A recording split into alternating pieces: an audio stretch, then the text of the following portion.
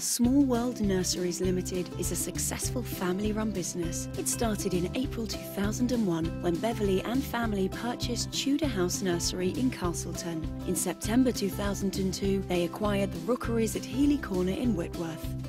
If you're looking for a well equipped day nursery that provides a warm and caring environment with experienced, fun, and friendly staff, look no further.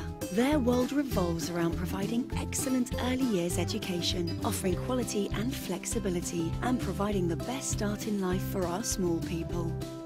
They carry out a wide range of activities for your children with secure outdoor play areas to encourage active and energetic play. They boast a full range of equipment and resources for all children, which will inspire and stimulate development through fun and play indoors or out.